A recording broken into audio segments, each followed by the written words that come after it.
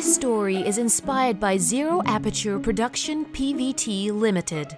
Zeppel is a video network dedicated to the untold overlooked to tell their stories. નામ જીવરાજભાઈ અર્જુનભાઈ લીખિયા મારું વતન આમરણ અને આ મોરબીની અંદર આપણે સિરેમિક કારખાના અને ભગવાનની દયા છે અને મને એમ થયું કે અહીંયા પ્રદૂષણ વધારે છે એટલે આપણે ઝાડ વાવવા જરૂરી છે એટલે ઝાડ વાવવાની ભગવાને મને પ્રેરણા આપી, ભગવાને મને હિંમત આપી અને ભગવાનની આપણી દયા આપણા પર સારી છે. અને આ ઝાડ વાવવાનું ચાલુ કર્યું.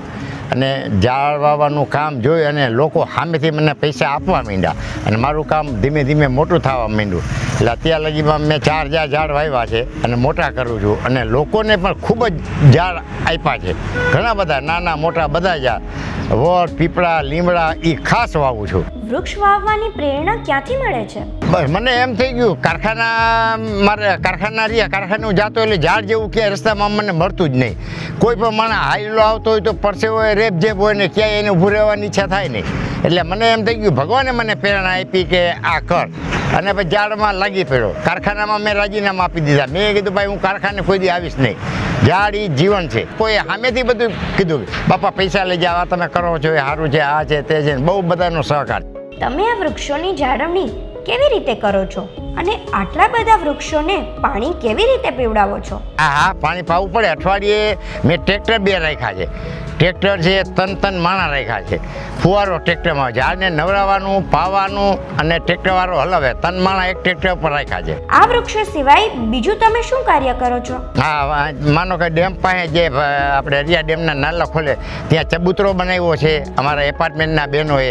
એની નીચે મેં એક મોટો ચબૂતરો બનાવ્યો છે બીજો. એમાં ચણ નાખી છીએ પાણી એનો અવેડો રાખ્યો છે પક્ષી પાણી પીએ. અને ઝાડવા બાજુમાં છે એટલે ઝાડવાની અંદર પક્ષી બેસે છે. તમે સમાજના લોકોને શું મેસેજ આપવા માંગો છો? હું લોકોને એમ કહું છું કે ભાઈ ઝાડ એક માણસે એક દર વર્ષે એક વર્ષે એક ઝાડ વાવવું અને મોટું કરવું જરૂરી છે. જો ઝાડ નહીં હોય તો આવતી પેઢી આપણને માફ નહીં કરે. આપણા પાસે ગમેલું ધન હશે પણ જો ઝાડ નહીં હોય તો ઓક્સિજન વગર શું કરશું? તો આપણા છોકરા એમ જ કહેશે બાપા એ પૈસા જ ભેગા કર્યા ઓક્સિજન માટે તો કાંઈ કર્યું નહીં.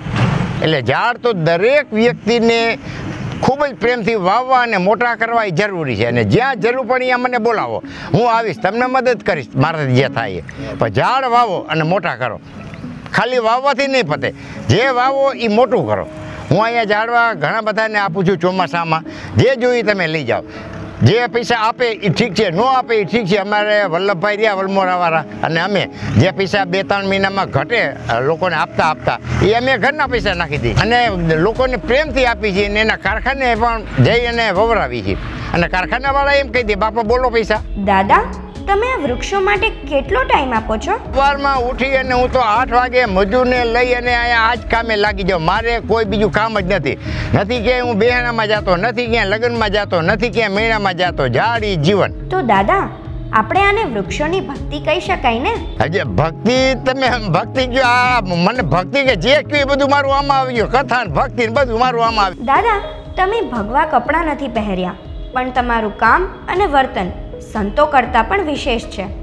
પણ હવે જે લોકો મને એમ જ કહે છે, બાપા, સંત સાચા સંત તો તમે શું કહે.